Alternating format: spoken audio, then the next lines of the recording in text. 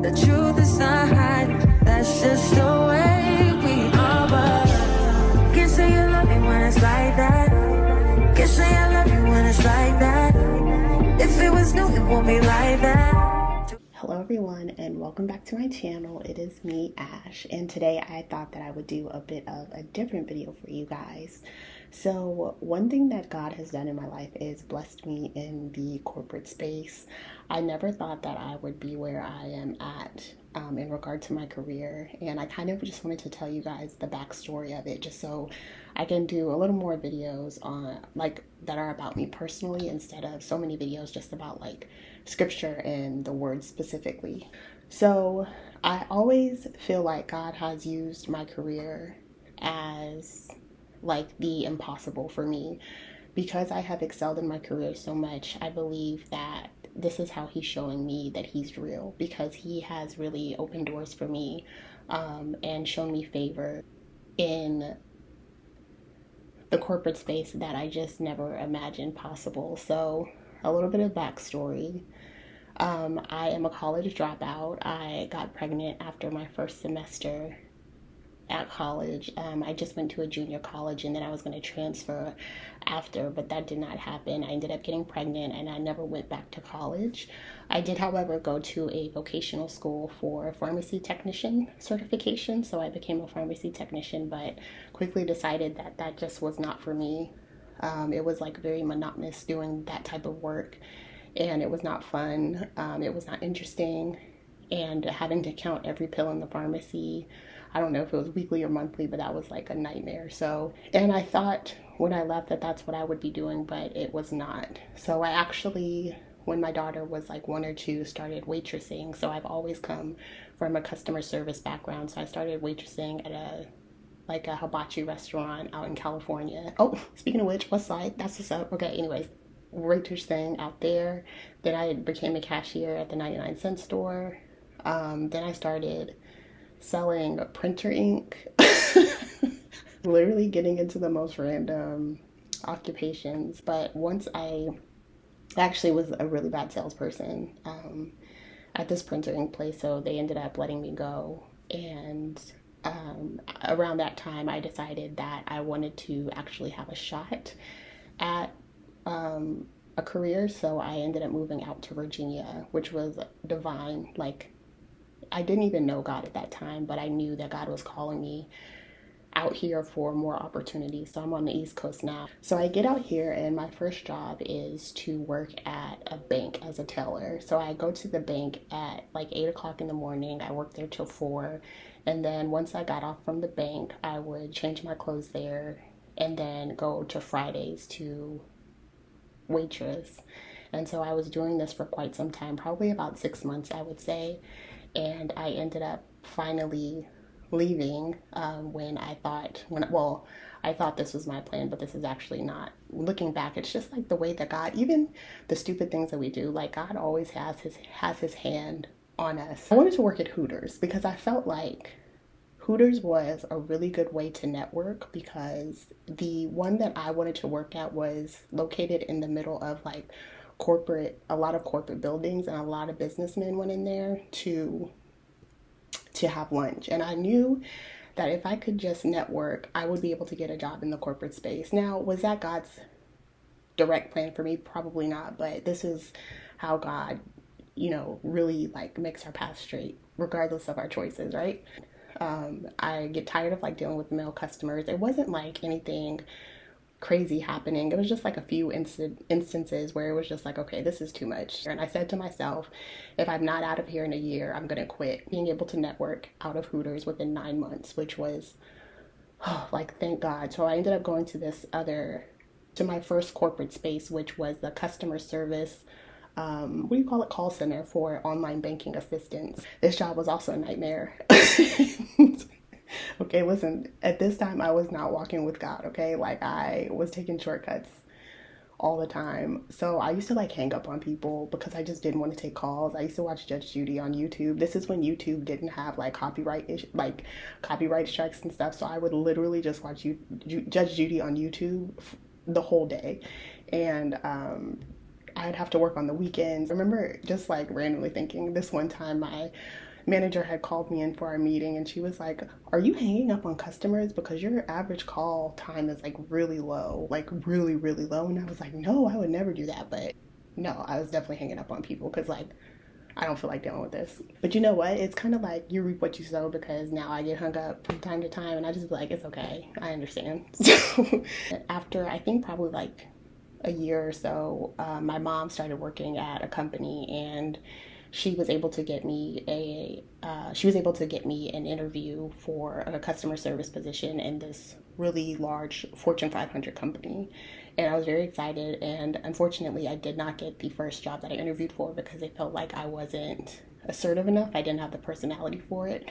But when I look back on this and I think about it, I know that this was God's hand. And even though I was very disappointed when it didn't happen, um, they ended up giving me a job within an internal startup within that company. You kind of have two types of startups. Um, you have one type of startup that is like a grassroots startup, and this is where it's literally um, the concept is being built from the ground up. The one that I was working in was an internal startup, so this was a new department within a larger company. But there were, the thing that they have in common is that there's no processes, there's no teams in place. It's literally just a handful of people working to build out an, a department from the ground up, or working to build a company from the ground up. So this became my area of expertise is working within corporate startups. So I started in 2012, um, and I don't want to forget to mention this because I feel like I will.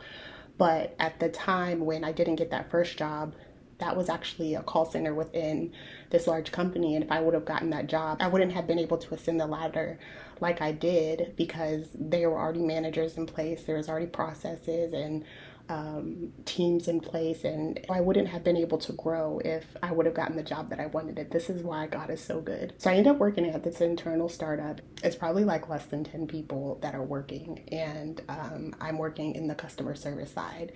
And I'm quickly learning that we, we're literally building out everything that we're doing. Like, since we haven't done it before, we have to decide what processes to take with certain action, you know, items that are happening. It's a very reactive environment, so it's like things would come up that we didn't even think about happening. So then we have to put solutions in place.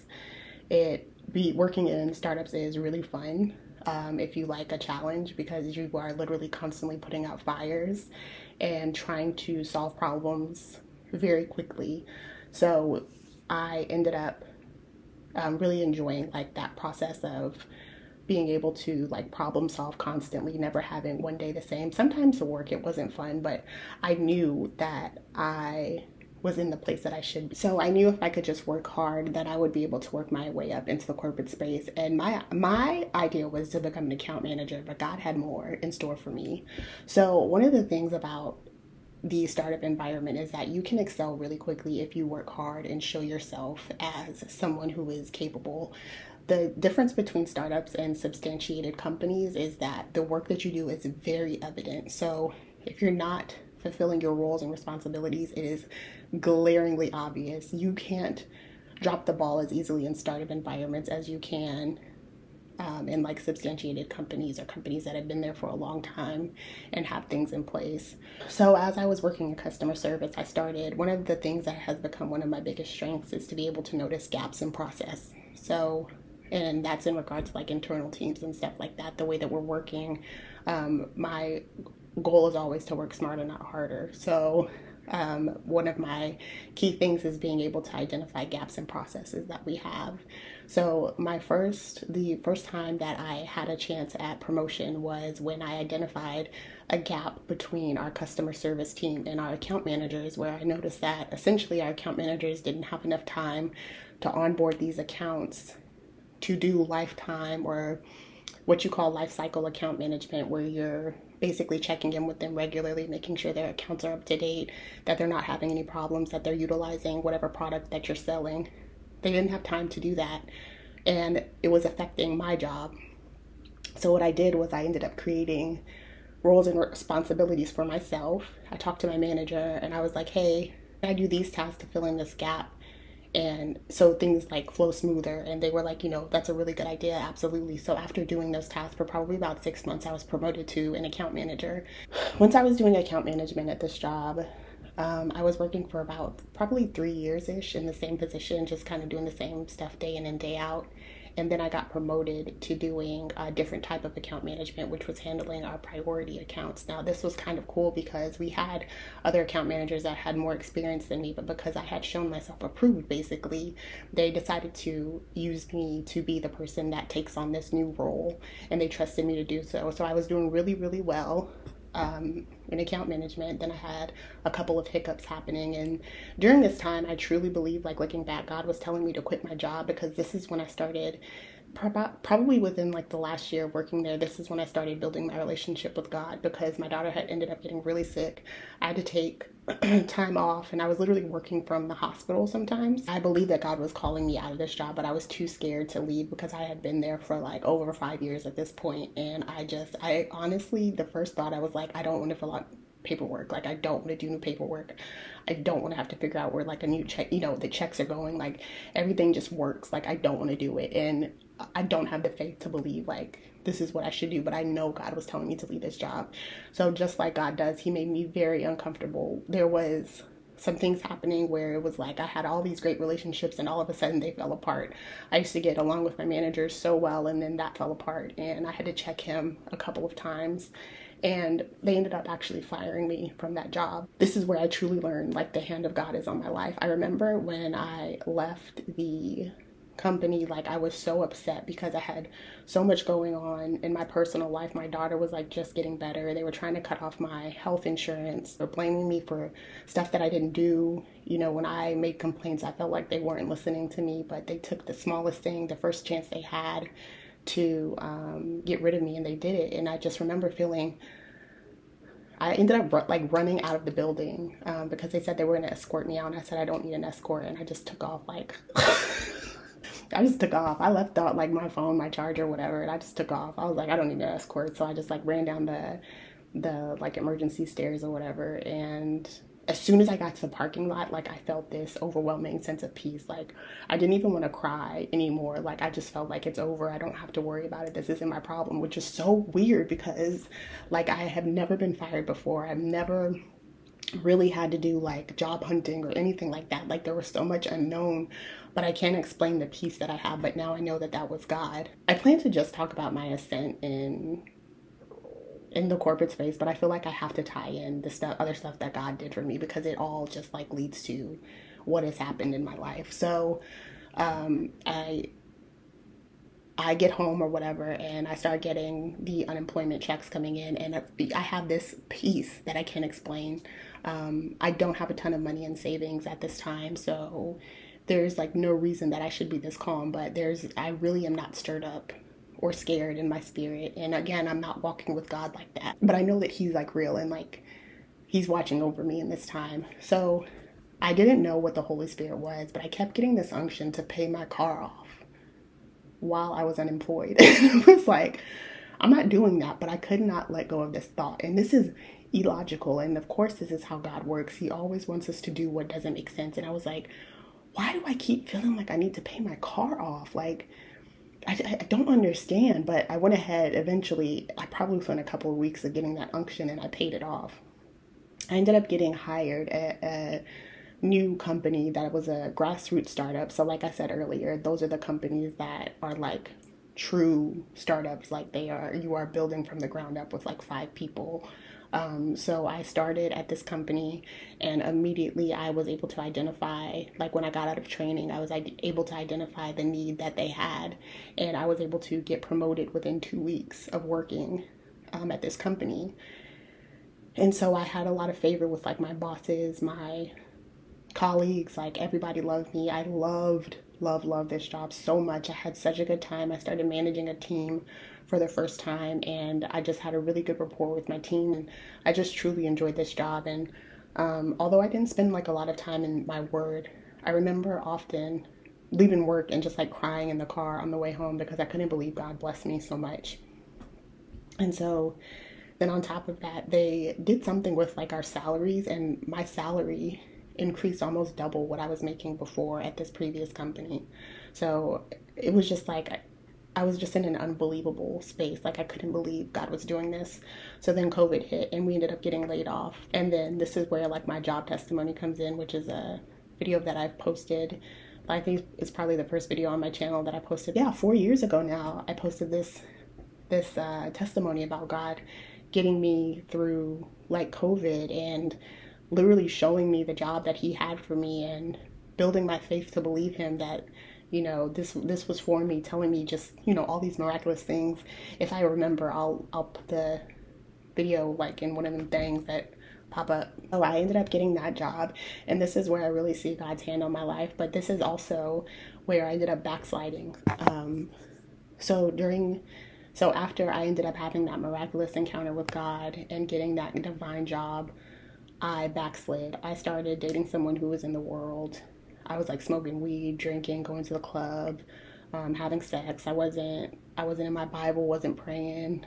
I I really would think about God all the time, but I wouldn't spend any time with Him. Um, so I was doing so well at this job again, just favor among everybody. I had um, a senior vice president that I was reporting to. I ended up becoming a senior manager. I started as an account manager, worked my way up within probably six months to the account management team lead within probably a year or less, I worked my way into senior management for the entire Eastern region. So I was handling millions of dollars in revenue per year. Um, and it was just a really good time. Like, I had this was the best team. Like, it was, it was even better than my previous job. It was the best team I've ever worked with. I had a senior vice president that I reported to who just helped me so much and was like a really great mentor to me. Um, the my director was my previous co-manager, but she had gotten promoted over me. But I didn't mind that because I thought that she was brilliant and definitely deserved that position. But I was in senior management and I was so excited. Um, but God had really has really just put His hand on my life, and it's that and just a combination of hard work. Um, when you're working in startups, if you can identify gaps in, in in internal processes where you can fill in, like that's how you make yourself seen. Um, so I would make like onboarding trainings for our new hires that would last two weeks and they'd be like these really intricate onboardings. Um, I would make the onboarding material for our new customers. So they would have like PDF downloads. Um, I would do all of the resources and stuff that our team needed in Notion for, you know, processes and updates and things like that. Like all of these projects where it just helped our teams run more efficiently and it was like super tangible stuff that I could show how I'm contributing.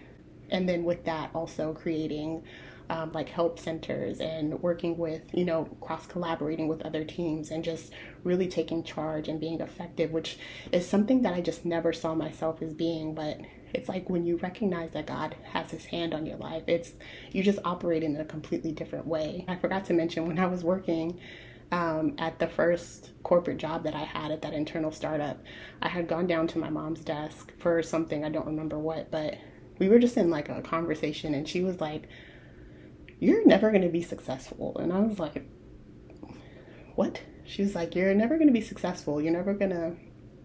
You're never going to stand out because you don't have a degree. And I just remember looking at her like, why would you say something like that? She was like, yeah, you're never going to do anything more than customer service. Try again. So it's like I, you know, is this that's how I, this this is why I know like God uses my um, profession to show His glory is because like everybody counted me out. Like my family used to make fun of the fact that I went to vocational school and they never took anything that I did seriously. They never congratulated me until I got like much older, until they saw my apartment or saw my car and things like that. Not that that matters, but it was like they never like rooted me on. I had so much coming against me, but God's favor, like when God favors you, it doesn't matter. Through May 2023, I was working at this job as a senior manager, um, and it was amazing. And then one day we got laid off. So startup culture is very like unpredictable. So it just comes with the territory. And during this time, like God has always told me what to do with my money. Um, when I got laid off this time, God told me everything that I have in my accounts is enough. Like I won't need any more. And I was like, okay, cool. And so when it came time to like pay my rent and stuff, I still hadn't got my um, unemployment money. So I was like, God, you told me like I didn't need to transfer money. So what's going on here? Um, but just in the nick of time, that money ended up coming through, and I didn't have to transfer any money because I ended up finding another job, and then I got hired as head of customer experience for another software company. So this was a senior level role. Um, I was very excited about it, and I when I got this job, I was like, okay, like God's hand is really on my life, and I really need to start pressing in and seeing what this is about. And I have a lot to tell you guys about this particular job, but I just kind of wanted to show you how like God's hand is on my life and how God can really do the impossible for you um, in your career if you're willing to work hard. And just like at, at one point, I just always told myself like, just work as if you're working unto the Lord, like just just get it done. I liken God doing things for me in my career to like God giving Sarah Isaac because it's literally the impossible. Like this old woman having a baby, this college dropout having an amazing career where she's in senior management. Um, it doesn't make sense. And I try to tell my daughter that, like, and we live in an area that's very expensive, and I've never missed a meal, never missed a rent payment, never, even when I was like unemployed, never had to guess where my resources were coming from because God has always provided for us. And so I just kind of wanted to just share that with you guys today so you know a little bit more about me, but also know like anything is possible with God if you just give Him the chance to move in your life. If you are by chance in a position where maybe you're looking for a job or something like that, you have to just surrender. Like, surrender to God, listen to see what He wants. Maybe He's asking you to start a business or to do something different or to get a side business going first or um, focus on some type of ministry before you get back into your full time career. Maybe He doesn't want you searching for jobs right now. Like, you never know what God's plan is, but what I can assure you is God will not open a door that's not for you. And I think that's why a lot of people are met with frustration or finding themselves like unemployed for so long is because they're trying to do things in their own power and they're so distracted by the waves in the sea when they're, you know, in the middle of stuff or aka like bills and family and debt or whatever the case is that they're not listening for God's word. But God is telling us that if we trust Him, if we're saying, like, God, I believe that you died for me, then you need to listen to Him when it comes to direction in your life. It doesn't make sense that you're saying you believe God, that He's this all powerful being, all knowing, all seeing, but He can't fix your little problem. God can do anything. So I do have a continuation to the story, and I can't wait to share it with you guys. Um, but I just wanted to share this little piece hoping it's encouraging, a little different than what I've been posting before. But, anyways, I hope you guys have a good day. And as always, I'll talk to you later. Bye.